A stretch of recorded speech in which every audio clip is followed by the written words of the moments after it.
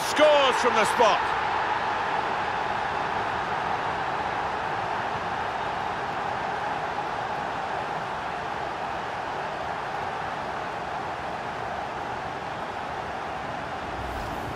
Well, he's taken plenty of penalties before, and it showed with that confident strike. Yeah, it is, and uh, he doesn't normally let you down from 12 yards, certainly didn't there.